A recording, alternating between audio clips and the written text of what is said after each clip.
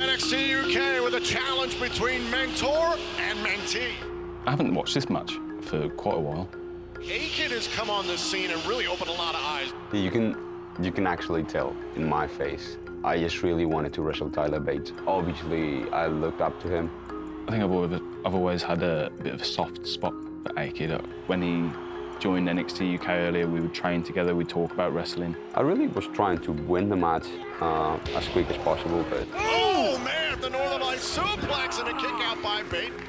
Sometimes when he gets impatient, he makes his mistakes. Oh, got it! There's no way uh, at this point in my career I would beat Tyler Bates. Tyler Bate puts away A-Kid. I get a sense of naivety. I didn't have the mental strength to do it. He doesn't have the matches under his belt. The following contest is for the NXT UK Heritage Cup. Yeah, you, you can tell I'm, I'm a different person in this one. That's extra strength of having the cup. Uh, that's my whole life now. Look at how calm he is. He just feels the moment.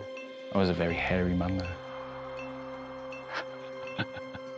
I just don't have the mental freedom to, to be in that state for a long period of time. I get frustrated very quickly. I think that's what, what I learned. Uh, you can see it here. I'm not, not angry. I'm just trying to think what went wrong, and I'm gonna change it straight away. Oh, look at that! There. Oh! That is the moment I lost this match. It was that moment that he saw I had self-doubts. He creeped into my mind. Shoulders down for the win, and A-Kid's beating Tyler oh! Bates! And there I got him. When I get frustrated, I have to remind myself, take the lesson. Our greatest lessons are in our biggest losses. And that is the perfect example of it. It's quite motivating, actually. I might have changed.